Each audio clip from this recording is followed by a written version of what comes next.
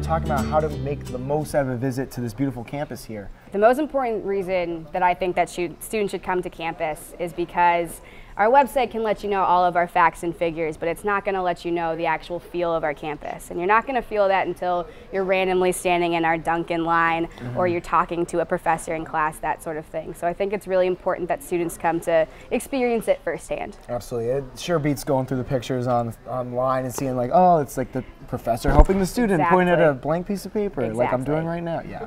It's a little bit more helpful. Before we go any further though, how do you take your coffee? I like to keep it pretty simple so that way I'm in and out of line. Mm-hmm. I go straight up iced coffee with milk and sugar. Yeah. Nothing extra. How do you how do you how does a student prepare for a visit here by the way? Mm-hmm. The best thing that they can do is just do their research on our website. Mm-hmm. Um, if they think that they know what they might want to major in, look up those departments, that sort of thing. Figure out some basic questions for not only our office, but if they're meeting with a professor, spending time with a student that's kind of the best thing to do is a little bit of research beforehand.